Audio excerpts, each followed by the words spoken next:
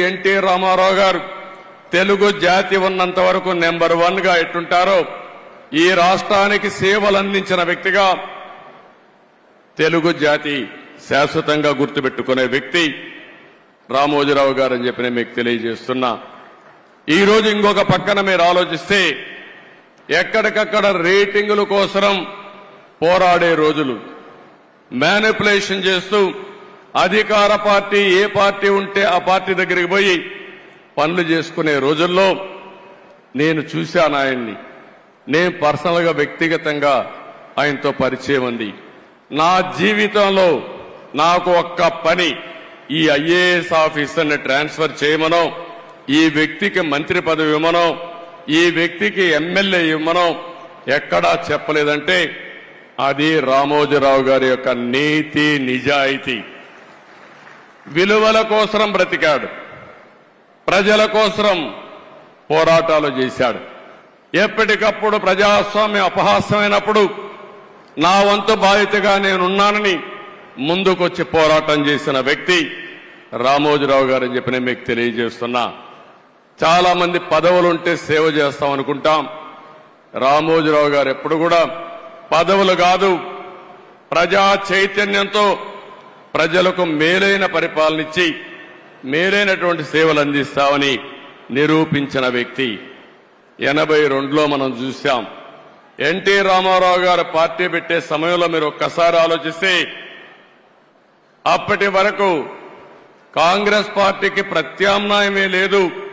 ఒక ప్రత్యామ్నాయం కావాలని ఆలోచించి తొమ్మిది నెలల్లో ఎన్టీ రామారావు గారు అధికారంలోకి వచ్చారంటే అందులో ప్రముఖ పాత్ర రామోజీరావు గారికి ఉందని చెప్పి కూడా నేను మీకు తెలియజేస్తున్నా.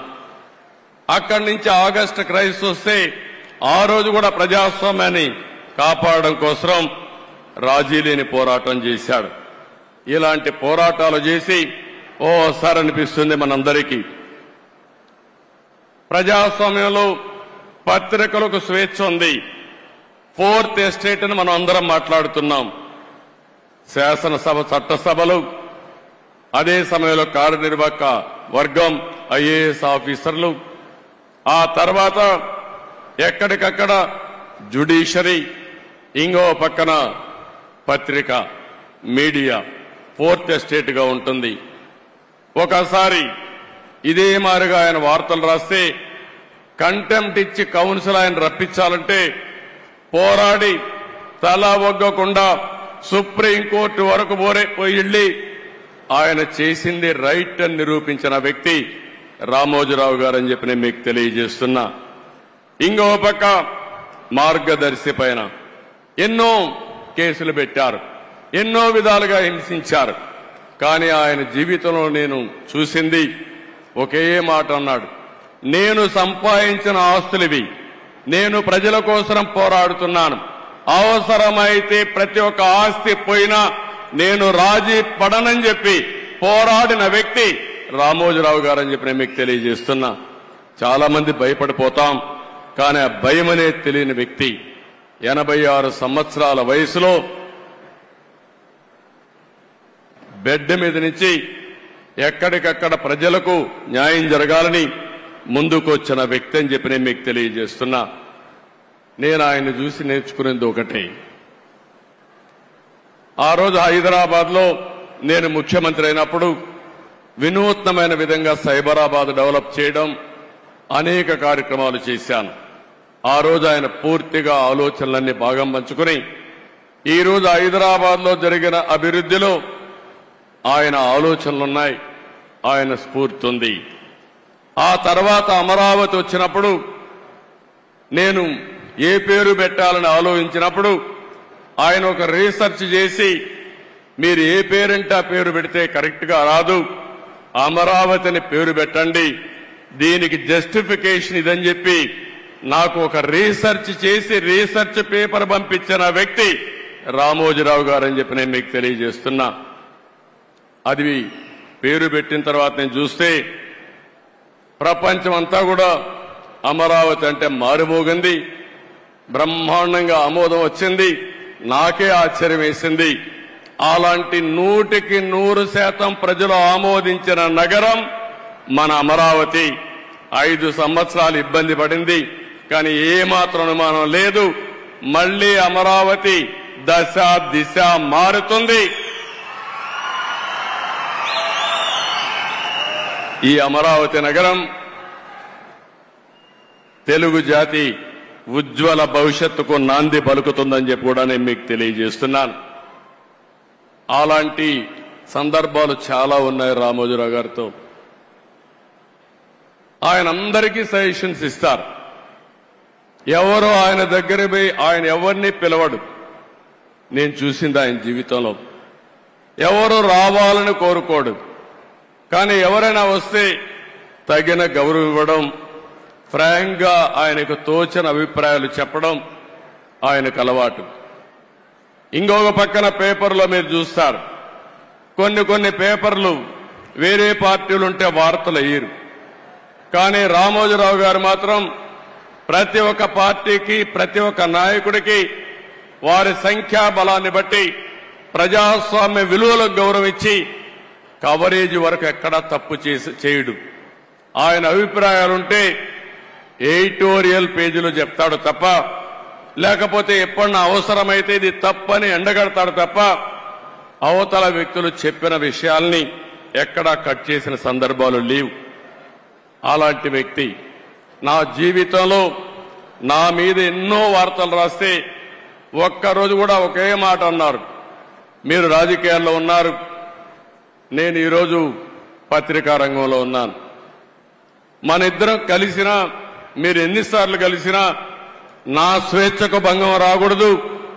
మీ స్వేచ్ఛకు కూడా భంగం కలిగించను. నేను మిమ్మల్ని ఏమి అడగను.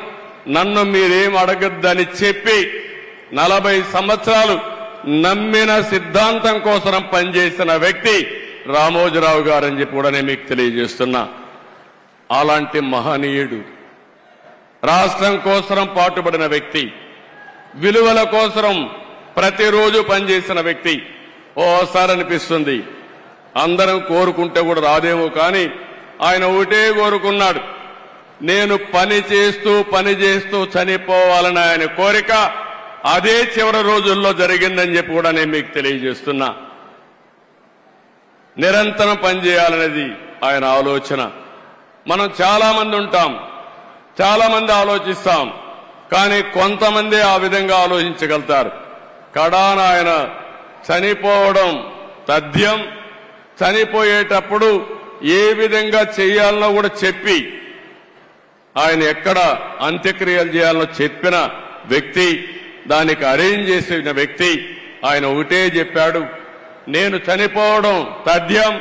నేను చనిపోయిన తర్వాత కూడా రామోజీరావు గారు ఏం చేశారో ప్రజలు గుర్తించే విధంగా స్ఫూర్తిదాయకమైన జీవితం చేయాలనేది రామోజీరావు గారి ఆకాంక్ష.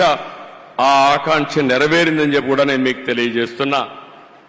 ఆయనకు తెలుగు భాష అంటే ఎనలేని అభిమానం. తెలుగు జాతి అంటే ఎనలేని ఆప్యాయత. ఎప్పుడు కూడా తెలుగు జాతి బాగుండాలని భారతదేశం బాగుండాలని విలువలతో కూడిన సమాజం ఉండాలని నిరంతరం కోరుకున్న వ్యక్తి. రామోజీరావు గారు. ఇప్పుడే కొంతమంది మాట్లాడుతూ మా- చెప్పారు. రాజమౌళి లాంటి వ్యక్తులు కూడా మాట్లాడుతూ ఒక మాట అన్నారు. ఆయన చేయాల్సిందంతా చేశారు. మనమేం చేయాలి? ఈ సందర్భంగా ఆంధ్రప్రదేశ్లో ఉండే తెలంగాణలో ఉండే తెలుగు వారందరికీ విజ్ఞప్తి చేస్తున్నా మనం కోరుకునేది తెలుగు జాతికి ఆయన చేసిన సేవల కోసం ఈ వ్యవస్థ చిరస్థాయిగా ఉండాల్సిన అవసరం ఉంది. ఈ లెగసీని కంటిన్యూ చేయాల్సిన అవసరం ఉంది.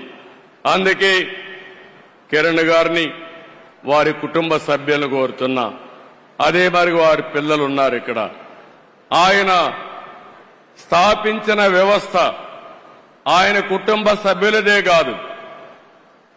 పది కోట్ల తెలుగు ప్రజానికనది ఆయన ప్రజల ఆస్తి. అలాంటి ఆయన స్థాపించిన వ్యవస్థల్ని భావితరాలకు అందించే బాధ్యత వారు తీసుకుంటే మనందరం కలిసి ఆయన స్ఫూర్తి ఎల్లప్పుడూ తెలుగు జాతిలో ఉండే విధంగా మనం ఆలోచించాల్సిన అవసరం ఉంది. ఎన్టీ రామారావు గారికి కూడా భారత రత్న ఇవ్వాలని చెప్పి మనం ఎప్పటి నుంచో పోరాడుతున్నాం. అదే సమయంలో రామోజీరావు గారికి కూడా భారతరత్న సాధించడం మనందరి బాధ్యత. ఒక పక్క ఎన్టీ రామారావు గారు ఒక పక్క రామోజీరావు గారు ఇద్దరికి ఇద్దరే అలాంటి మహానాయ మహానాయకులకి యుగ పురుషులకి మనం నివాళులర్పించడం అంటే ఇలాంటి కార్యక్రమంలో భాగస్వాములు కావడమేనని చెప్పి నేను మీకు తెలియజేస్తున్నాను. ఇది కాకుండా అమరావతి ఆయన పెట్టిన పేరు ఆయన ఇచ్చినటువంటి ఆ రోజు సలహా ఈరోజు నేను ఆలోచిస్తున్నాను. అమరావతిలో రామోజీ విజ్ఞాన్ కేంద్రంగా పెట్టి ఢిల్లీలో విజ్ఞాన్ భవన్ ఏ విధంగా అయితే ఉందో కాన్ఫరెన్సెస్ కానీ రీసెర్చ్ కానీ ప్రభుత్వం చేసే కార్యక్రమాలన్నీ అక్కడ చేసే విధంగా తప్పకుండా తగిన రీతిన ఒక మంచి కేంద్రం తయారు చేసి దానికి రామోజీరావు గారి పేరు నామకరణం చేస్తామని చెప్పి కూడా మీ అందరికీ విజ్ఞప్తి చేస్తున్నాం. అదే మరిగా ఒక రోడ్డు కూడా రామోజీరావు గారి మార్గని లేకుంటే మార్గమని ఒక రోడ్డు కోసం కూడా ఆయన పేరు పెట్టడం. అదే మారిగా విశాఖపట్నంలో ఆయన యొక్క జీవితాన్ని ప్రారంభించింది. మొట్టమొదటిసారిగా పేపర్ పెట్టింది. అందుకే వి- విశాఖపట్నంలో చిత్ర నగరి అని ఒక పేరు పెట్టి సినిమా షూటింగ్లు చేయడం కోసం ఇప్పుడే మిత్రుడు పవన్ కళ్యాణ్ గారితో మాట్లాడా. అక్కడ కూడా చిత్ర నగరని రామోజీరావు గారి పేరుతోనే పెడతాం. రామోజీ చిత్ర నగరిని పెడతామని చెప్పి నేను మీకు తెలియజేస్తున్నా. ఇవి కొన్ని సూచనలు మాత్రం మీకు ఇస్తున్నా. ఆ మహనీయుడికి మనం నివాళులర్పించాలంటే ఆయన స్ఫూర్తిని భావితరాలకు అందించడమే. ఎంతో మంది పుడతాం ఎంతో మంది చనిపోతాం కానీ కొంతమంది మాత్రం చరిత్రలో ఉంటారు. అలాంటి చరిత్రలో చిరస్థాయిగా నిలిచిపోయే వ్యక్తి రామోజీరావు గారు అలాంటి వ్యక్తి సంస్కరణ సభ చేయడం నా అదృష్టంగా నేను భావిస్తున్నాను. ఆ రోజు ఎన్టీ రామారావు గారు చనిపోయినప్పుడు మెమోరియల్ కట్టాం ఎన్టీఆర్ మెమోరియల్ కట్టాం.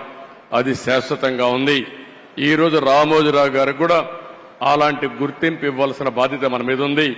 మీరు కూడా సజెషన్స్ ఇవ్వండి. తొందరలోనే వారి కుటుంబ సభ్యులతో కూడా మాట్లాడి ఆయనకు తగిన విధంగా గుర్తింపు ఉండే విధంగా ప్రజలు గుర్తుండే విధంగా చేస్తారని చెప్పి తెలియజేసుకుంటూ కుటుంబ సభ్యులందరికీ ప్రగాఢ సానుభూతి తెలియజేస్తూ వారు ధైర్యంగా ముందుకు పోయి లెగసీ కంటిన్యూ చేయాలని చెప్పి కోరుకుంటూ ఇంకొక పక్క ఆయన ఆత్మకు శాంతి కలగాలని భగవంతుని మరొక్కసారి ప్రార్థిస్తూ అందరికీ నమస్కారాలు. Jai Hind.